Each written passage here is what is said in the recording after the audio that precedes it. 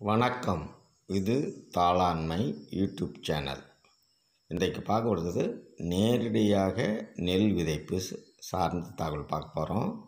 திரு குப்புசாமி கன்னிமங்கலம் அவர்களுடைய நிலத்திலிருந்து எடுக்கப்பட்ட இந்த வீடியோ காட்சியை பாருங்கள். இந்த இருபது சென்ட்டில் என்னுடைய நண்பர் வந்தார். ஒரு நாள் சரி சேடை ஓட்டிகிட்டு இருந்தேன். நாற்று உள்ளான்னு இல்லை வேணாம்பா நெல் நேரடி விதைப்பு வரைச்சி கொடுப்பா நல்ல விஷயம் பண்ணார். ஒரு நாலு கிலோ தாங்க இருக்கேன். விரைச்சி விட்டேன் நல்லா வந்துருச்சுங்க. என்ன ஒரு தடவை மருந்து அடிச்சிருக்கிறேன் அவ்வளோதாங்க. அடி உரம் போட்டிருக்கேன்.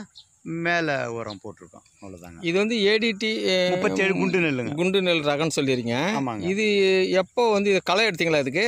ஆ ரெண்டு களை எடுத்தேங்க. ரெண்டு களை எடுத்துக்கிறீங்க. களை. களை எடுக்க எத்தனை ஆள் களை தேவைப்படுது எடுக்கிறதுக்கு முதல் ஒரு நாள் ஒரு ஆள் நான் அந்த ஒரு பெண்ணாலோட நான் எடுத்தேன் களை. ரெண்டு நாள் கழிச்சு ஒரு பெண்ணாலோட நானும் சேர்ந்து களை எடுத்தேங்க. அரை அரை விடுத்தி தாங்க எடுத்தோம் அரை அரை விடுத்தி தாங்க எடுத்தோம் மூணு நாள் நாங்கள் எடுக்கலைங்க. சரி சரி. இப்போ நடவு வேலை உங்களுக்கு இல்லாத போச்சு. களை வேலை மட்டும் தான் உங்களுக்கு இருந்தது. ஏ- ஆமாங்க. ஏறு வந்து எத்தனை ஏர் ஓட்டினீங்க? ஏர் வந்து ஒரு ஆயிரத்தி ஐநூறுரூவாய்க்கு உழவு ஓட்டினேன். ஏன்னா இந்த ரெண்டு நிலமா வந்து சமனா பண்ணி ஆயிரத்தி ஐநூறுரூவாய்க்கு செலவாயிடுச்சுங்க. பாஞ்சு யூனிட்டு பாஞ்சு பாயிண்ட் போச்சுனால ஒரு ஆயிரத்தி ஐநூறுரூவா செலவு. அந்த ஆயிரத்தி ஐநூறுரூவா நம்ம இதில் எடுத்துடலாங்க. இந்த மகசூல். எடுத்துடலாங்க. இப்போ வந்து இது எவ்வளோ மூட்டை வரும்னு நினைக்கிறீங்க? வருங்க ஒரு நாலு மூட்டை வருங்க. நாலு எட்டு முப்பத்தி ரெண்டு மூ முந்நூற்றி இருபத்தஞ்சு கிலோ வருங்க. முன்னூற்றி ஆ, குறைஞ்சது வருங்க. அப்புறம் வைக்கல் நமக்கு இருக்கு. ஆ வைக்கல் இருக்குது வைக்கல் பயன்படுத்த முடியுமா இப்போ? வைக்கல் பயன்படுத்தலாம். நான் இதிலே போட்டு யூரியா போட்டு சேடை ஓட்டிலானுங்கிறேன் ஏன்னா பூமிக்கு நல்லா சத்தாயிடும்.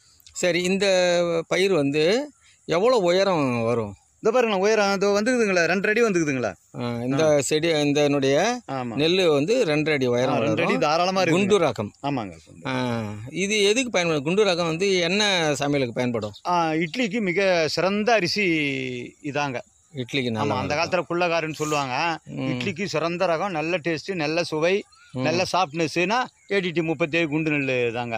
இதில். ஒன்று ஒன்று நல்லா கவனிக்க என்ன கவனிக்கணும்னா இந்த அரிசி வந்து சாதம் அவ்வளவு ருசியாக இருக்கும் பிரமாதமாக இருக்கும். அதை சாப்பிட்டு பார்த்தா தான் தெரியும்.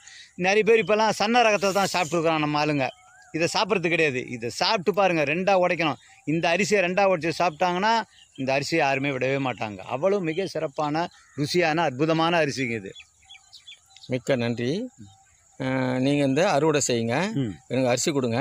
நானும் சாப்பிட்டு பார்க்குறேன் தாளாண்மை வழியே பாருங்கள் லைக் பண்ணுங்கள் ஷேர் பண்ணுங்கள் சப்ஸ்கிரைப் பண்ணுங்கள் ஆதரவுக்கு நன்றி வணக்கம்.